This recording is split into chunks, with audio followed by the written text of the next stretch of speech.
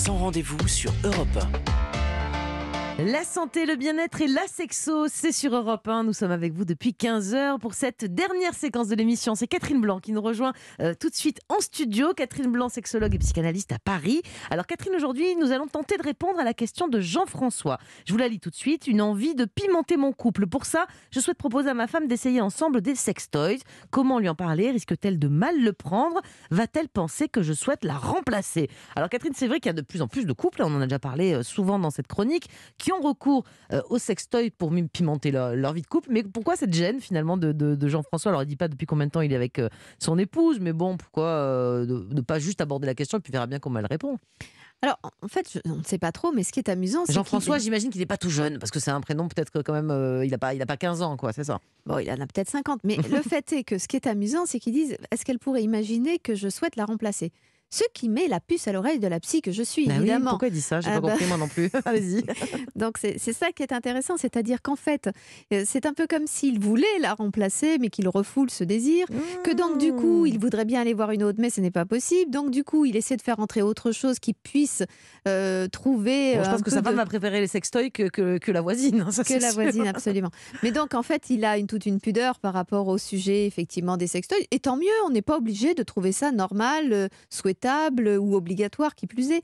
Mais euh, en tout cas, manifestement, il est en conflit avec lui-même, c'est-à-dire qu'il a envie de pimenter les choses, mais il a aussi peut-être fantasmé un ailleurs et un autrement si je n'étais pas avec elle, et que à défaut de pouvoir de, tout foutre en l'air, eh bien évidemment, il se, dit qu'il pourrait faire euh, entrer dans leur, dans leur érotisme, dans leur jeu amoureux des sextoys, tout en ayant le sentiment que même en parler, c'est déjà laisser penser qu'il est allé réfléchir quelque chose ailleurs ou prendre l'idée ailleurs, c'est-à-dire dans la pornographie, c'est-à-dire dans un film euh, très érotique, euh, ou peut-être une discussion avec des copains, ou qui sait, euh, avec une maîtresse. Donc en fait, c'est souvent ce qui nous empêche d'en parler, c'est qu'on craint que l'autre se demande d'où on sort l'idée, et que donc dès lors, ça raconte que nous mmh. sommes, au moins en pensée ou dans les faits, déjà dans un ailleurs. Est-ce qu'il pourrait pas jouer la carte de l'humour en fait finalement? Parce que finalement bon ok il va peut-être ramener des sextoys puis en plus il y a sextoys et sextoys hein, il n'est peut-être pas obligé de passer tout de suite à l'artillerie euh, lourde. Mhm. Euh, est-ce qu'en utilisant l'humour finalement peut-être ça pourrait pas passer euh, de, proposer ça? Je veux pas dire qu'elle va vouloir les utiliser mais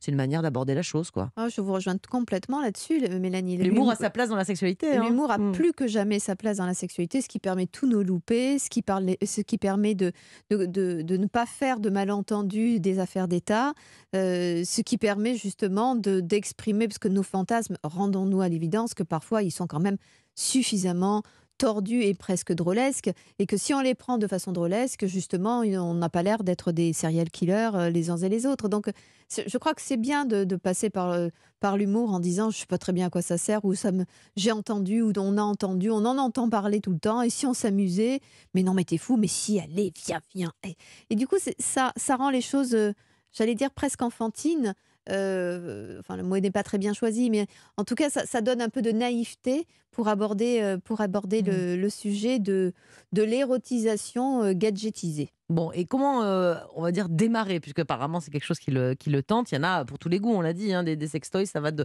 des choses complètement classiques, du petit canard, à des choses bien plus compliquées.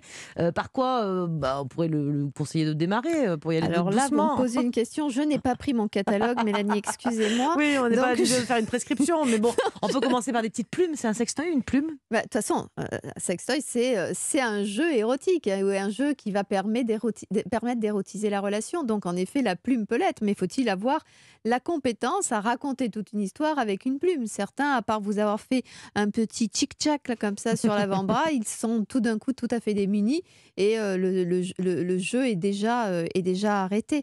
Donc, je, pense que d'abord, ne pas, ne pas acheter des choses pour en faire la surprise à quelqu'un qui ça va peut être mal perçu, voilà. Ça peut être mieux la prévenir avant, oui. quitte à lui dire viens on les commande ensemble, ça peut être rigolo comme, comme quelle couleur euh, Parce que pour, pour, pour une femme, ça sera plutôt par la couleur que ça paraîtra moins agressif, ou par la forme, ou par la taille, ou par justement le symbolisme, parce que quand c'est un petit canard vibrant, on voit bien qu'on y met quelque chose de soi-disant enfantin pour quelque chose qui ne l'est pas. Donc voilà, je crois qu'il vaut mieux partager euh, cette recherche. La sélection déjà ensemble, c'est mieux plutôt que la surprise. Et si ça se trouve, on l'achète pas, mais rien que d'avoir ri sur ce sujet, on a presque déjà tout érotisé et peut-être qu'on fabriquera euh, son godemiché avec quelque chose qu'on a déjà à la maison. Très bien, merci beaucoup Catherine. Un peu de créativité, il y a parfois Oui, il y a ce qu'il oui, faut dans les oui. placards. hein. Mais Merci. exactement. Merci beaucoup Catherine pour tous ces conseils. Je vous dis donc à demain, rendez-vous à 15h.